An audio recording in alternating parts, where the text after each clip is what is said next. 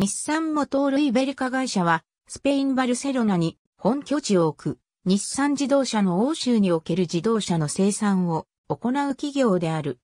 現在は欧州日産の商用車及び SUV の生産を行っている。前身のモトールイベリカは1920年、フォードモーター社の子会社として設立され、商用車を生産していた。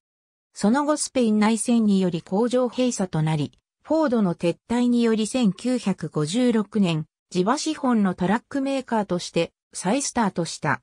そして1967年、アメリカ合衆国のトラクターメーカー、マッセイ・ファーガソンが資本参加したが1980年に撤退。その資本を日産が買い取り資本比率を上げて、1983年1月に現在の名に改められた。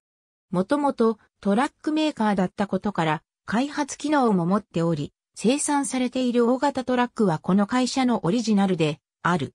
2002年9月からはルノー及びオペルの X83 型小型商用車の生産を開始した。2014年10月に日本市場で発表された ENV200 はモトールイーベリカ製が輸入される。2020年5月28日、日産自動車は需要の落ち込みに加え、2019新型コロナウイルス感染拡大の影響から赤字幅が拡大したことを理由にバルセロナの工場を閉鎖することを発表した。ありがとうございます。